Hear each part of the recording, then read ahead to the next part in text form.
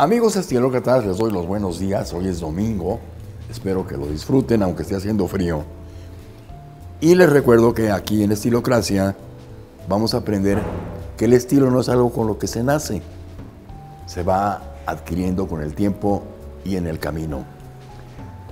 Y me gustaría hablarle un poco acerca de las boinas. Les voy a explicar por qué. Cuando se es friolento y adicionalmente no se tiene pelo, como en mi caso, el frío suele ser mucho más intenso, más agudo e incluso llega, llega como a morderlo a uno el frío en las noches. Por eso hay sombreros y hay gorras y hay gorras de boceador y hay las boinas españolas, que son a las que yo me, me voy a referir porque la boina española calienta tanto o más que un sombrero borsalino. Y les voy a explicar por qué. Pero antes debo decirles que todavía no he podido entender cómo es que las boinas llegaron a ser una parte de un atuendo militar. Pues, pues todos hemos oído hablar acerca de los boinas verdes, de los famosos boinas verdes, que eran un grupo, un grupo militar, una élite militar dedicada a, ciertas actividades específicas.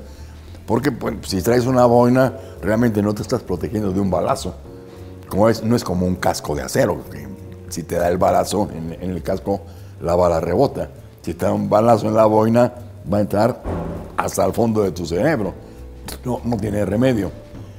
Pero pues la boina española se, se teje de, unas, de, de, una sola vuelta y es toda de lana 100%. Y hay muchas maneras de ponérsela.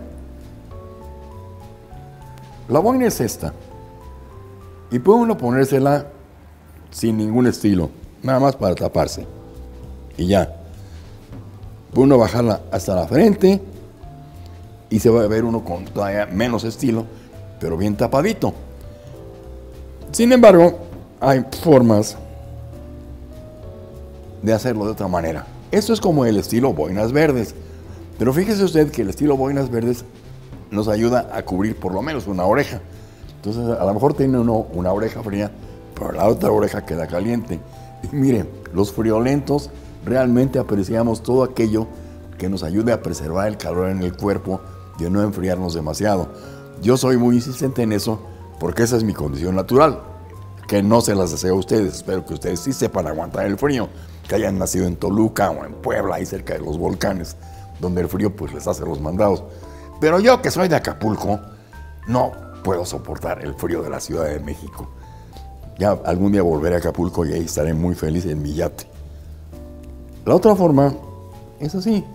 Pueden tomarlo como si fuera de boceador, ya saben cómo son, que, tienen esto al frente, les va a tapar menos la nuca, pero les, les, va a tapar bien el frente. Si tienen pelo en la parte de atrás, no están, no están rapados como yo, y si tienen pelo en la coronilla, el pelo les protege, traen su bufanda, y esto les da un buen estilo, les tapa bien la frente y les cubre del viento, porque como quiere que sea el viento pega de frente, pero rebota contra la visera que están ustedes haciendo artificialmente con su boina. Eso es lo que puedo decirles acerca de las boinas.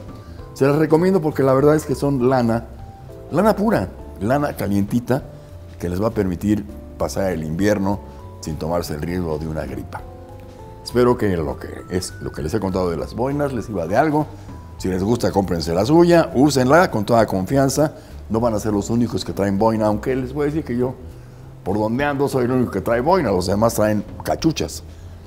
Pero si traen ustedes una boina, por lo menos tendrán un, elemento de estilo que los diferencia de, toda la inmensa cantidad de hombres que simplemente portan una cachucha.